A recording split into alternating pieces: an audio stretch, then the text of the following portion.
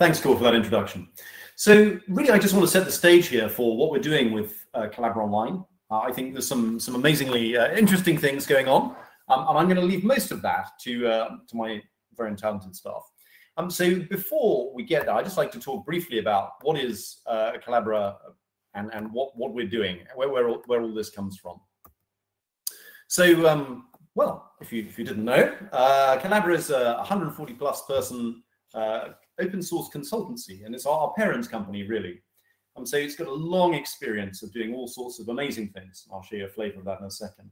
And probably the most interesting thing about them is that their whole purpose, their raison d'etre, as, as my, uh, my co-business uh, partner Philippe would say, um, is to accelerate the adoption of open source technologies, uh, those methodologies and philosophies that we, we love and that are so powerful at building uh, amazingly, amazingly rich software uh, in, in, community and with, with other people and so on. So Collabora Productivity is a subsidiary there that's half owned by Collabora and half owned by myself. It was spun out of SUSE uh, in 2013. We're now around eight years old and we have 32 staff and we're fully focused as a subsidiary on office productivity. So that's that's our, our driving uh, goal, uh, improving that for our clients. So um, Collabora, the parent company, does lots of different things. Um, and I'll just give you a very brief flavor of that. You can see some of these things, but the thread that runs through all of these things is essentially enabling our customers to use open source to the maximum.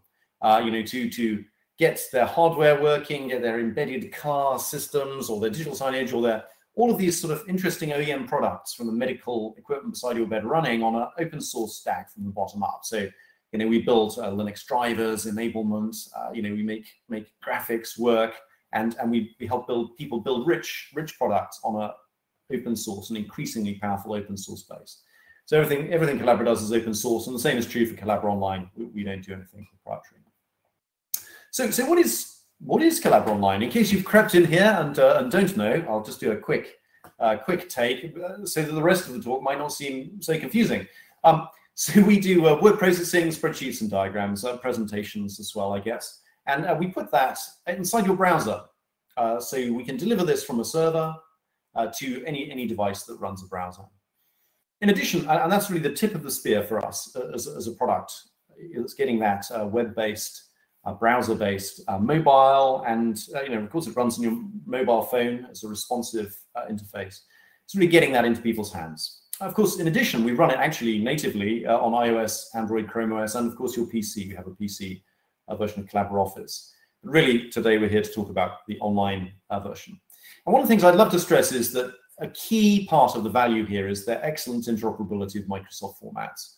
Uh, you know, I was on the uh, ECMA committee that helped standardize Microsoft's new, I guess they're a decade plus old now, um, OpenXML file formats are really based on uh, the, the, previous work done by OpenOffice LibreOffice's precursor that sits underneath us. And it's great, you know, great to have have that experience of, uh, of, of, seeing interoperability uh, close up and working with people across the industry there and we really do have the most mature code base uh, for, for, doing this out there.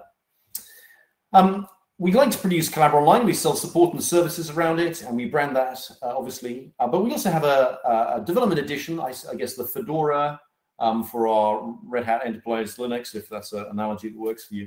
Um, we have around 70 million Docker image downloads there, about 2.2 million a month we ship, and that's growing. Uh, and it's great to see, and of course, each of those is an unknown number of users out there uh, using those servers to collaborate around documents, which, which is great. So that's the product really, but I just want to talk less about product features and more about uh, the benefits for customers uh, and users.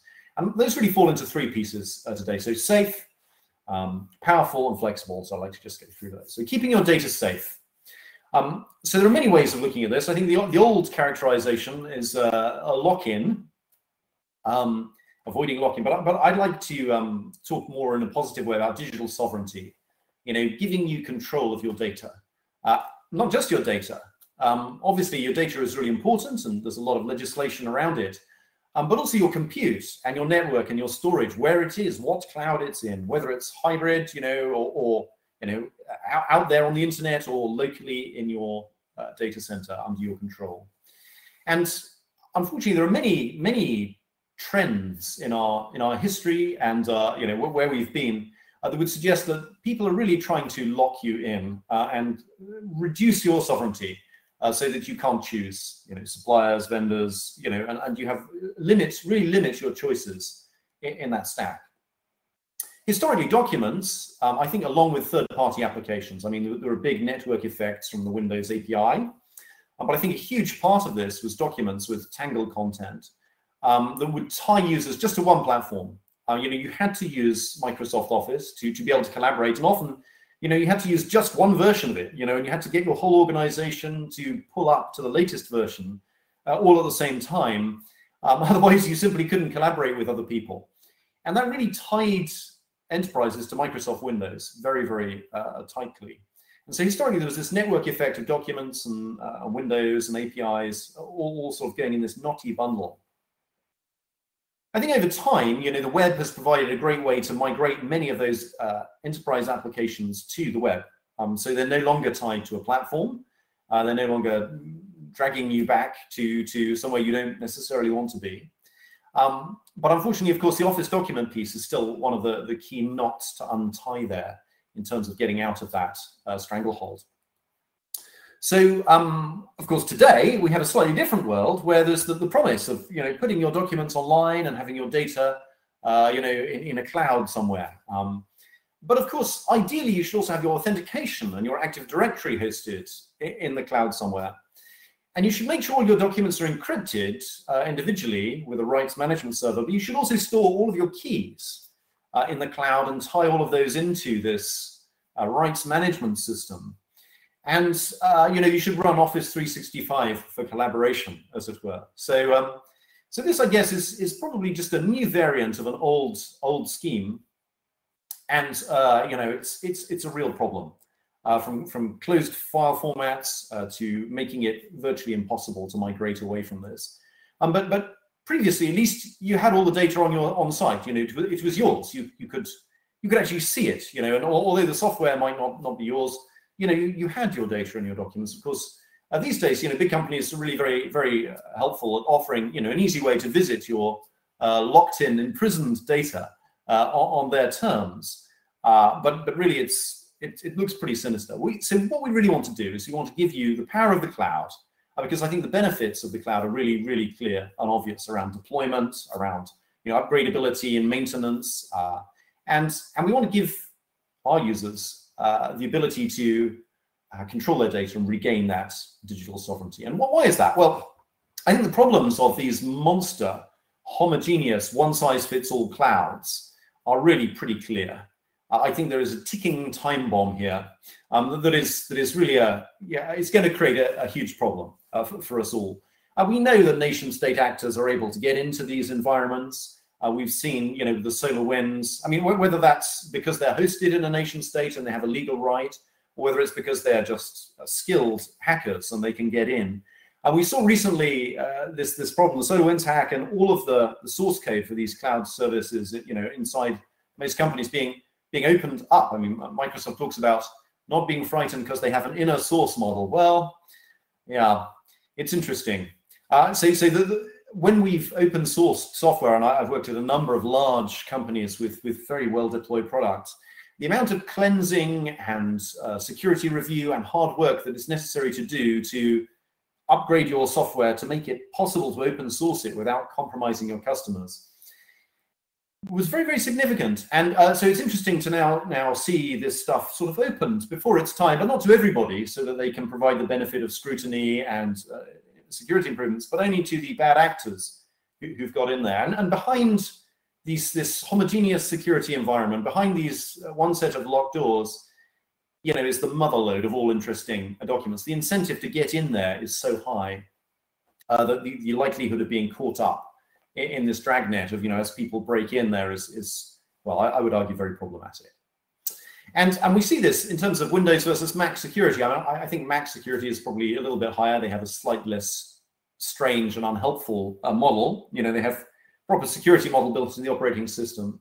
But I think the Mac uh, people have benefited very largely from having a, a less widely used uh, operating system. I think just having that huge deployment of Windows out there previously has made it much easier or just much more of a target uh, for people. And so I think as you go down to a more, you know, a less less used operating system, interestingly, often uh, the security improves there. So, so what do we do with all of this data? You know, we've got to put our data somewhere. So some people say end-to-end -end encryption is the solution. You know, we just need to encrypt the data on the client and then send it to the cloud and they can't see it anyway. And then when we get it back, uh, we'll be able to see it and problem solved. Interesting. I mean, from a consumer perspective, this is this is probably quite interesting. For, from, from a customer, if you really don't trust your cloud provider um, with your credit card information, your personal data, and so on, then, then that's fine. Um, you can encrypt your data and, and put it there, no problem. But as a business, do you really trust the devices in everyone's pockets, their laptops, their different operating systems that are distributed everywhere around the world, more than keeping the data on the server in your data center? And so Miklos is going to talk later a bit about, uh, you know, a secure view and how you can actually uh, retain control not only of your compute and your servers, uh, but also that, that document data and not let it out of your sight. And I commend his talk to you. Um, so instead, I think, you know, we really want to be keeping control of our data. We want to be making sure it's somewhere safe and having that flexibility to choose how we do that. If you want to choose your own VPN, you can choose that. You know, you, you can make sure that it's only accessible uh, over that. Uh, you can, if you're really paranoid, you can have multiple layers of VPN. If you're extremely paranoid, you can not only have multi-factor authentication, you can air gap your network. Uh, you know, so you can put it in a container on a battlefield. Why not? Uh, there's there's nothing nothing you can't do. The flexibility is there. Or perhaps you know you're not that paranoid, but you do want to know where your data lives, uh, who it's shared with, um, who else is using the same machine in this wonderful time sharing thing. You know, is there some a friendly Rowhammer, uh, you know, tester from North Korea uh, living on the same machine with you if they, uh, you know, rented a similar account on the European server you're using.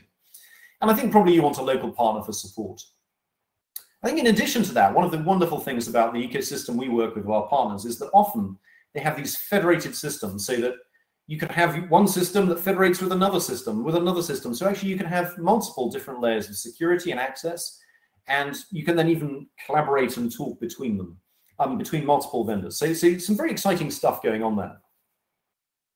So, so all of this sounds good, but really you want to make sure you're not sacrificing feature function. I think that's that's vital. And so our vision for Collabora Online, uh, and we're really focused on this actually, just just to um, just to make it clear, you know, we do try and do one thing, we try and do it really well, which is this, a collaborative document editing. We don't try and boil the ocean we love to work with partners and we love to sell through partners because we really make one piece that does the document editing. Uh, we don't do document storage, we don't do authentication, uh, and we leave all of that to our partners because it's hard. Uh, and you know we really value their expertise at getting that right and helping you deploy that. So what we're really focused on is a full feature Office Productivity Suite. It's open source, as I say, that's in our DNA, it's, it's who we are and uh, putting this in the browser to get really good quality browser-based document editing. And with with interoperability, I think that that is really, you know, our executives want to play with their iPads and their Macs, and their students get their their Chromebooks, and you know, the researchers have the Linux desktop, but so, so on and so on. And some people have Windows, and all of them want to be able to interoperate perfectly. And of course, putting this in the browser, putting it in the cloud, makes that really transparent and easy. And we just really have the most mature implementation outside uh, Microsoft here. Eloy will talk to you a bit more about it. Why does full feature matter? Well, I, I would argue uh, that Microsoft Office Online is really just a, a disguised a version of trying to get you to uh, continue to use the PC, Windows full feature client, you know, the, the fat thing. Use the full, full functionality on Windows in Word uh, to edit your document. You know, five megabyte file size limits. You know, I mean, some of these things are tweakable, but this is really this is really not very impressive. You know, we can't show these features in the browser. Ironically, uh, you know, Microsoft is worse at interoperating with itself uh, than than we are uh, with their documents. So let me give you an example. Uh, lots of people have legacy forms to fill out. You know, they they need to either create templates for merging or to fill out people's details in forms. Here's a random example from the internet the New Zealand Customs Service. You know, your, your ship, your luxury yacht, uh, Larry Ellison has sailed into town. He has to fill out his form, right, to uh, to dock his his boat, or his his minion does, let's say. And it's normal to have these forms, and you tab through them, and they have protected bits, so you can't edit the form. You can only edit the contents and so on. And here we see, well, there's two things to see here. The first thing is that Office Online can't do it. So bad luck. Try using the desktop version uh, on, Windows. Um, but also, it's amusing to me that the quality of, of what is being shown in your browser is, is just appalling. And there is a very low resolution uh, view of your document here. And worse than that, the view is actually uh, using what's, what's known as uh, ClearType. Uh, so it's putting false color around these, these pixels for an LCD screen, and it's then interpolating it so as to smear this color out uh, horribly. And the net result is just, well, I mean, there's nothing clear about that type. I think it's worth worth pointing out. So, um, well, so how do we do that? So, you know, clearly uh, we try and get it right. So we load the document, uh, we render it uh, properly. Uh, we have crisp text.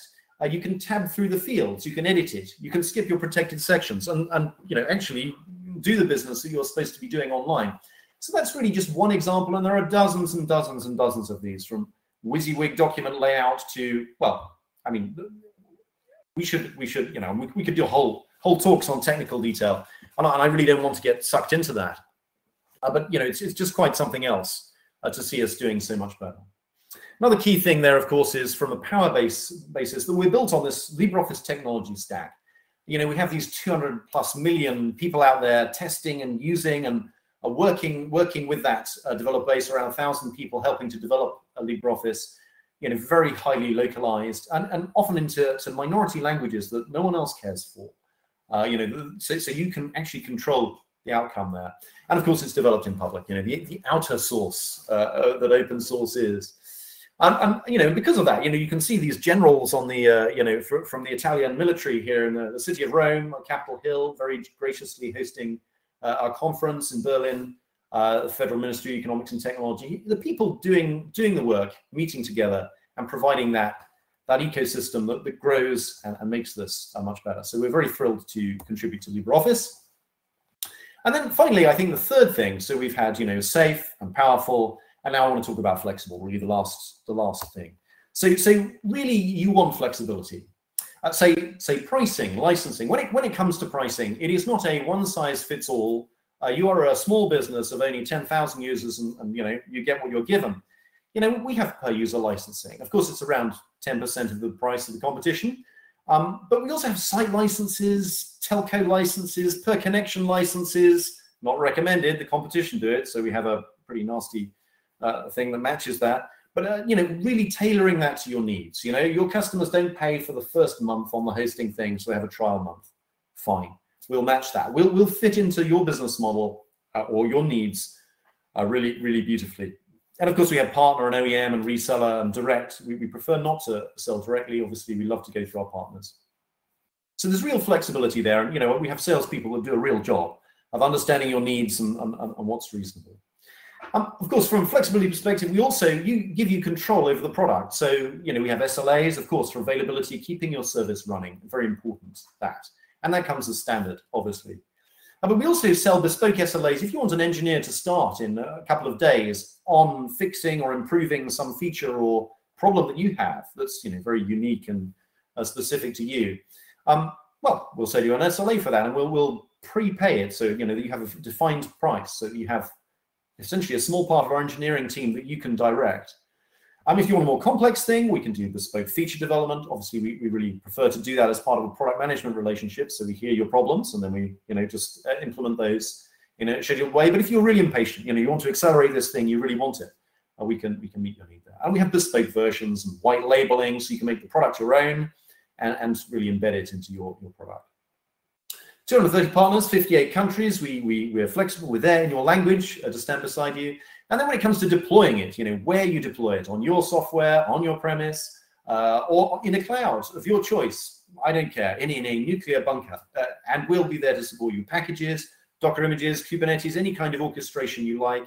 If you're particularly paranoid, you can build it from source code yourself so you know exactly what, you know, there's absolutely no question what you're getting.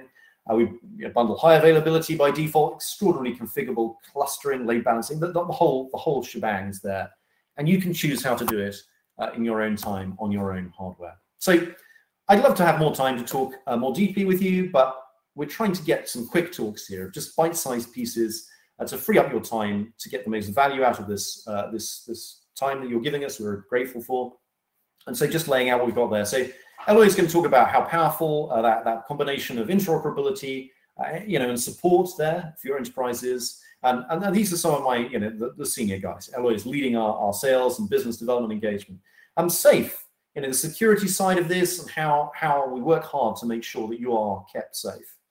And that's from uh, Miklos, who leads our consultancy and, and uh, product uh, development team there. And then flexible, just how to set this up, how, how to make that, how to integrate it into, into your services and theme it and make it look attractive uh, for your use case. Uh, from, from Katie, who leads our product development team.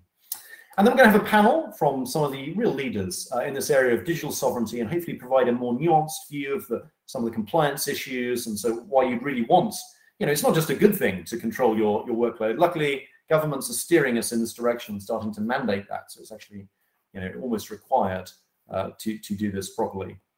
And then we're going to look at some case studies of our partners uh, actually doing this really well and, and showing how easily this can be done out there um, from, from a lot of different partners. I'd recommend, you know, any one of these partners is fantastic. Uh, we love to serve beside them. And then we're also going to have a talk about uh, the LibreOffice technology that we uh, build our product on top uh, from uh, the LibreOffice project. So thank you for joining us. I'm looking forward to hearing your feedback and questions. I'd like to just call out two companies in particular. Arawa uh, is a partner of ours and Scaleway, whose services we, we enjoy to use regularly, of helping to sponsor the Big Blue Button platform we're using now.